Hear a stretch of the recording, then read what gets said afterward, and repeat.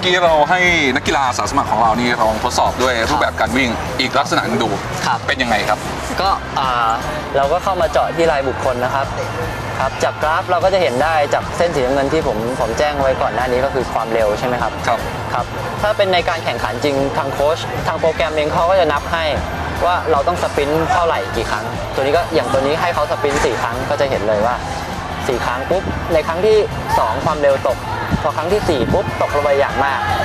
ใช่ไหมครับ อ๋อ คือมันสามารถดูได้ละเอียดขนาดนี้เลย ใช่ครับ ว่าคือค่าเฉลี่ยของนักกีฬาเราไม่ค่อยนิ่ง ไม่ค่อยเสถียรใช่ครับ ความฟิตไม่สำหรับอ่าอาสาสมัครสมัครเล่นนะครับครับอย่างตัวนี้ก็จะบอกได้เลยว่าครั้งที่ 1 กับครั้งที่ 3 สูง แต่ครั้งทีสี่4 มันตก อาจจะเป็นเพราะความฟิตหรือว่าขี้เกียจอู้ครับซ่อนซึ่งซึ่งการซ้อมจริงนะครับ เท่าที่ผมเคยเจอมาก็จะมีเหตุการณ์นี้ เกิดขึ้น แอบปุ๊บ เพราะว่ามันเป็นอ่าการซ้อมที่แบบ 20 คนน่ะ ถ้าเราแอบไปคน 2 คนหรือว่าทีสสัองงเกตทีไม่เห็นไม่มีใครรู้ อืม ซึ่งซึ่งตามปกตามปกติแล้วโค้ชก็จะมานั่งไล่ดูกราฟ สมมติโค้ชบอกว่าวิ่ง 10 ทีก็จะเห็นใช่ไหมครับ เพราะนักฟุตบอลมันต้องวิ่งมันต้องสปรินต์ได้เกิน 10 รอบ 20 รอบอยู่แล้ว ครับ ก็จะเห็นเอ๊ะคุณอ่าคุณแอบอู้ไป2อสารอบ แก้ซ่อมอืมตอนเพื่อนๆเลิกแล้ว ครับ ตรงนี้ก็คือประโยชน์ของวิทยาศาสตร์การกีฬาที่สามารถช่วยให้ใช่ครับ โค้ชนั้น ดูได้ถึงเอ่อการฝึกซ้อมของนักกีฬาเป็นรายบุคคลเลยว่าสามารถเต็มที่กับการซ้อมมากแค่ไหน ใช่ครับ ครับผม นี่ก็คือเจาะของหน้าจอของกแล้ราวฟค่าที่ใช้ส่วนใหญ่เนี่ยเห็นว่ามีการอ้างอิงในมาตรฐานเดียวกัน ใช่ครับอ่าอ่าเราจะมีค่ามาตรฐานของของที่ผมได้ข้อมูลมาจากทางพรีเมียร์ลีกครับ คือค่าที่เมืองนอก English Premier League English Premier League เลย ครับที่ทุกทีมเขาเก็บเก็บค่ากันครับ อ่าเขาเรียกว่า High Intensity Running การวิ่งด้วยความเร็วสูงอ่า ทางค่าเมืองนอกเขาดูที่ระยะทางที่เราวิ่งเกิน 20 กิโลเมตรต่อชั่วโมง เป็นระยะทางกี่เมตร อืมก็คือตัว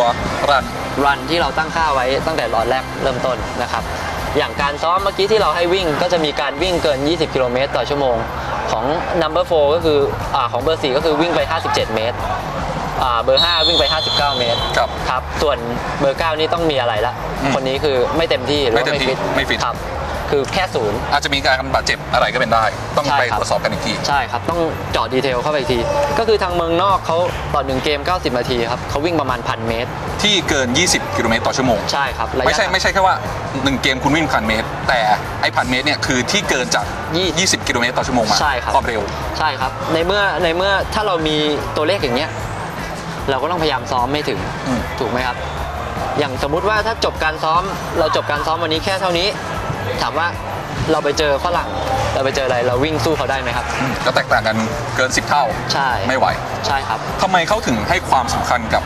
ค่าค่านี้มันหมายถึงอะไรครับ อ่าจากที่ผมเคยไปอบรมจากดรแมกนิโมเขาเป็นอดีตโค้ชของเชลซีครับตอนนี้เขาเป็นอ่าในวงการเขาบอกเป็นอันดับ 2 ของโลก เขาบอกว่าเรื่องตัว physio ตัวนี้ conditioning ครับ ครับเขาบอกว่าอ่านักเตะที่ดีต้องทำงานหนัก อืม ได้ได้สูงกว่านักเตะทั่วไปกว่านักเตะทั่วไป ใช่ อย่างพวกสมมุตินะครับอย่างคริสเตียโนโรนัลโดเขาก็จะทำระยะพวกเนี้ยได้สูงมากอืมครับคือเขาเลี้ยงบอลด้วยความเร็วสูง ยิงเขาวิ่งสปรินต์เข้าเพรสเชอร์คู่แข่งด้วยความเร็วสูง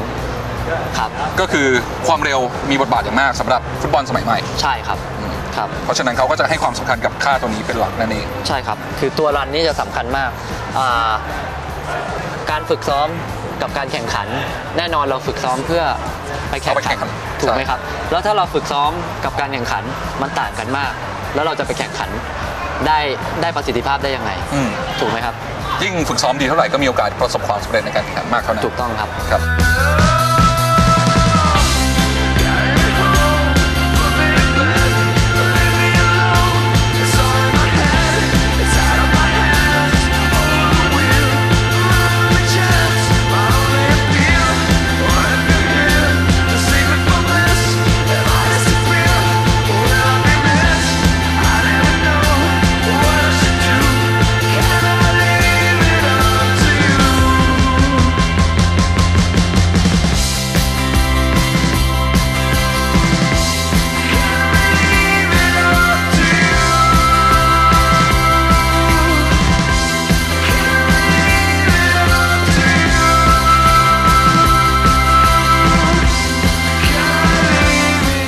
นนี้เราจะเห็นแล้วว่าหลังจากเปลี่ยนการทดสอบให้กับนักกีฬาสมัครเล่นของเราเนี่ยนักกีฬาสาสมัครของเราก็เริ่มเริ่มมีค่าที่ขยับขึ้นมาแล้วในส่วนครับผม ครับตรงนี้คืออะไรครับ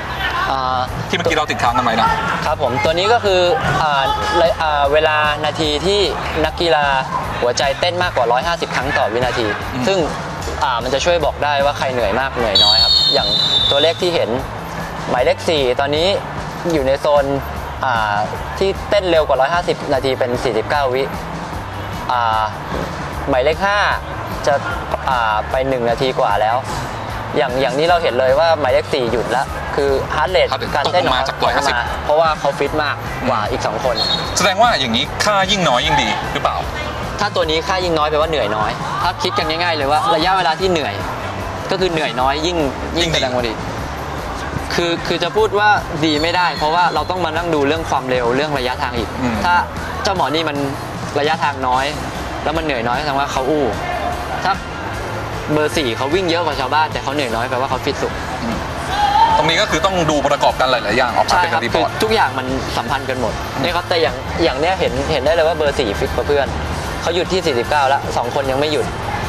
ความเร็วสูง ระยะทางที่เขาทำได้มากกว่าเพื่อน ตรงนี้ค่าของแต่ละคนเนี่ยครับเซตได้เป็นรายบุคคลหรือเปล่า อ่าเซตได้เป็นรายบุคคลแยกเฉพาะเจาะจงเป็นตำแหน่งเป็นอะไรได้หมดเลยครับ คือนักฟุตบอลแต่ละตำแหน่งเนี่ยค่าที่จะใช้สำหรับคนก็ต้องแตกต่างกัน ใช่แน่นอนเพราะว่าแต่ละตำแหน่งการวิ่งรูปแบบการวิ่งต่างกัน แบ็กก็ต้องเติมขึ้นลงมากน้อย มาตรฐานของแต่ละตำแหน่งเป็นประมาณเท่าไหร่บ้างอ่าต่อหนึ่งการแข่งขันนะครับอาของกองหลังจะอยู่ประมาณ 8 กิโล total เลยนะครับ นี่คือค่าที่วิ่งเกิน 20 กิโลเมตรต่อชั่วโมงไม่ใช่ครับ ค่าค่าหมายค่าระยะทางที่วิ่งระยะทางที่วิ่ง ประมาณ 8 กว่าแปดกว่า 8 กว่า ถ้าเป็นกองกลางจะประมาณ 11 กองหน้าประมาณ 9 กว่ากว่าครับ อืมกองหลังเคลื่อนที่น้อยสุด ส่วนใหญ่จะยืนประจำแดงกองกลางใช่ไม่ต้องขึ้นลงตลอดเวลาครับ กองหน้าก็ค้ำอยู่ในแดงจะต่อสู้ เป็นกองกลางกับแบ็คที่จะวิ่งเยอะอืม ครับผมเพราะต้องอาเติมขึ้นเติมลงครับ ครับ ผมสนใจที่ว่า แต่ละคนเซตเป็นค่าต่างหากได้ ครับเพื่อที่จะเอามา report ก็คือ แต่ละคนเนี้ยเราจะเซตค่าได้เลย ครับ โชว์ให้ดูหน่อยได้ไหมครับ อ่าก็จะอยู่ในหมวดของการ configure นะครับ ก็อยู่ใน player อ่าฮะนี่ก็คือเราจะแจ้งได้ว่าสมมุติเราจะดูฮาร์ดเรทครับ ถ้าเกิน 150 ถือว่าเหนื่อย ก็คือปรับได้ ปรับได้ เกิน 160 ถือว่าเหนื่อย ก็ปรับได้ ปรับได้ ตรงนี้ขึ้นอยู่กับอะไรครับ ที่เราจะปรับเลือกเป็น 50 60 อ่าอายุของนักกีฬาครับอ่าตามสูตรสูตรการคำนวณ max heart rate คืออัตราการเต้นสูงสุดของหัวใจเขาเอา 220 ลบอายุอืม แปลว่าถ้าอายุน้อยลบสมมติ 220ลบ20 ค่าแม็กก็จะอยู่ที่ 200 ถ้า 220 ลบคนอายุ 30 ก็จะอยู่ที่ 190 ตรงนี้ผ่านการวิจัยผ่านการแน่นอนครับของเป็นเป็นวิทยาศาสตร์การกีฬาอยู่แล้วมาหมดแล้วครับผมครับผมอ่าแล้วก็จะมีอีกส่วนหนึ่งในบางครั้งที่เราไม่อยากไม่อยากให้นักกีฬาทำทำงานเกิน มันก็จะมีการเซต alert อีกตัวหนึ่งว่าสมมติการซ้อมครั้งเนี้ยเราตั้งไว้ว่าอ่าวันนี้ เราวางแผนจะซ้อม 7,000 เมตร คือ 7 กิโล พอมันครบ 7,000 ปุ๊บ มันเตือน ส่งข้อส่งส่งอ่าสัญญาณมาที่ตรงนี้ขึ้นตัวแดง พอแล้วเอาออก heart rate ไอ้นี่ไปเหนื่อยเกินกี่นาทีกี่นาทีแล้ว ดึงนักเตะออกอืมใช้ได้ในการแข่งขันจริง ครับ นี่ก็คือคร่าวๆของตัวคร่าวๆ GPS Sport ครับนั่นเอง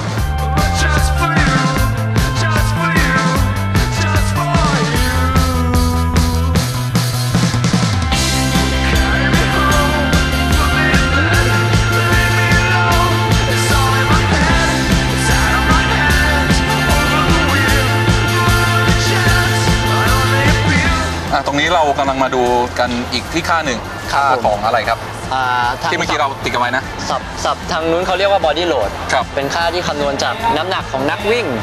อ่า gravity ก็คือแรงโน้มถ่วงครับครับ ผมแต่ละคนก็จะไม่เท่ากัน เพราะฉะนั้นเราเลยในเทสนี้เราให้ให้อ่านักกีฬาลองวิ่งคนเดียวคนเดียวเดียวเพื่อเพื่อเพื่อดูว่า body load จะเท่าไหร่ เราแบ่งการวิ่งออกไป 3 แบบ คือวิ่งจ็อกปกติ วิ่งด้วยความเร็วแล้วก็วิ่งซิกแซกครับระยะทางเท่ากันหมดครับผมอืม อ่าในในเส้นนี้เส้นแรกนะครับบอดี้โหลดอันนี้คือการจ็อกเราก็จะเห็นว่าระยะทางจ็อกจากโกฝั่งหนึ่งไปโกฝั่งหนึ่งเอ้ยจาก เส้นเส้นธง ขวางสนาม ขวางสนามครับ ครับ เราก็จะเห็นว่าค่าคือ 2.67 ครับผม อ่าส่วนตัวนี้พอเราให้สปรินต์ก็คือวิ่งด้วยความเร็วสูงไปกับในระยะทางเท่ากัน เราก็จะเห็นเลยว่าค่ามันสูงกว่าเห็นได้ชัดเจน5.26ใช่ครับ จาก2.67 มาเป็น 5.26 ใช่ครับอืม ครับ มันจะต่างกับเรื่อง distance ถ้าเรื่องระยะทางก็จะออกมาเท่ากันถูกไหมครับครับครับ แล้วอันสุดท้ายเราลองให้นักนักกีฬาวิ่งซิกแซกซิกแซกเต็มความเร็ว ใช่ครับ เต็มความเร็ว ก็จะเห็นเลยว่าการวิ่งมันต่างแต่ละรูปแบบ load ของร่างกายเราจะต่างกัน ก็จะเห็นว่าแม้จะ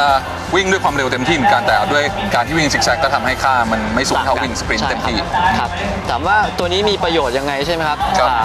ทางทางทีม fitness coach เขาก็จะมีตัวเลขอยู่ ถ้าเขาเริ่มเก็บข้อมูลของนักกีฬาเขาจะมีตัวเลขอยู่ว่า นักกีฬาคนเนี้ยไม่ควรทำเกินสมมติว่าตัวเลขคือ1,000นักกีฬาเองไม่ควร1,000 ตอนแข่งขันสมมติเป็นเกมที่มีความตึงเครียดสูงนักกีฬาวิ่งเยอะ 60 นาทีวิ่งไปพันหนึ่งแล้ว อืม fitness coach เห็นปุ๊บเอ้ย ไม่ไม่ไหวดีแล้แล้วไม่ไม่ควรให้อยู่แล้ว ถ้าอยู่ต่ออาจจะมีการบาดเจ็บครับ ครับ เห็นว่าเคยเกิดขึ้นใน English Premier League เร็วๆนี้ด้วย ใช่ครับอ่าถ้าจำกันได้แมตช์ที่แมนยูเจอกับอาร์เซนอลครับนัดนั้นอ่ารู้สึกแชมเบอร์แลนเล่นดีมากแต่เอ็กโดซ์นไซด์ เปลี่ยนออกใช่ครับอเล็กซ์แชมเบอร์แลนวันนั้นวิ่งจี๊ดมากเลย ประมาณนาทีที่ 70 ปุ๊บ โดนเปลี่ยนตัวออกเอาอาร์ชาวินลง เรียกได้ว่างงกันหมดโรบินฟานเพอร์ซี่อะไรงงกันหมด ใช่ครับ แต่ว่าพอมาดูจากสถิติแล้ว ครับทางเมืองนอกเขาบอกว่ามันถึงจุดจุดหนึ่งที่ร่างกายของนักกีฬาจะรับได้ เขาต้องเอาออกคือ เพื่อในเกมถัดมาจะได้ใช้แชมเบอร์แลนณถึงเวลานาทีประมาณ 70 เนี่ยเหลือ20 นาทีแต่ร่างกายเนี่ยถือว่าขีดสุดแล้ว ครับขีดสุดที่ไม่ควรไม่ไม่ควรจะไปมากกว่านั้น อืม ในเกมที่วันพุธเตะวันศุกร์วันเสาร์เตะ เขาจะมีค่าอยู่แล้วก็วันไหนควร ควรวิ่งเท่าไหนควรอะไรเขาจะมีค่าอยู่ เขาก็ถึงเวลาที่ต้องพักนักเตะคนนี้เพื่อใช้วันเสาร์ครับอืมถ้าลองเช็คลองดูเรคคอร์ดมันก็คือพุธเสร็จเสาร์ก็มาเล่นต่อครับแชมเบอร์แลนวันนั้นครับอ่า ล่าสุดเมื่อประมาณ 2 เดือนที่แล้วมั้งครับ ในข่าวก็จะมีลงว่าคันเบอร์ซี่ออกมาขอบคุณเทคโนโลยีดาวเทียมตัวนี้อืมว่าทำให้เขาทำไมเหตุผลอะไรทำให้เขาเล่นได้ทั้งทั้งฤดูกาลแบบต่อเนื่องครับก็คือตัวนี้นี่แหละ GP Sport ใช่ครับเขามีนัดหนึ่งเขาบ่นว่าในในตัวเขาอะเขารู้สึกว่านัดเนี้ยผมลงได้ ผมลงได้นะเขาคุยกับบอสเขาก็คือเวนเกอร์เขาบอกเขาลงได้ แต่บอสบอกเราลองเชื่อตัวนี้ดูเขาเปลี่ยนลงมาประมาณนาทีที่ 70เขาลงมา 20 นาทีเขายิงไป 2 ลูกอืม รู้สึกจะเป็นนัดเจอสโต๊กก็คือเขาก็ออกมาขอบคุณตัวเทคโนโลยีดาวเทียมตัวนี้ ก็เรียกได้ว่ามีบทบาทอย่างมากสำหรับกัดบอลสมัยใหม่ ใช่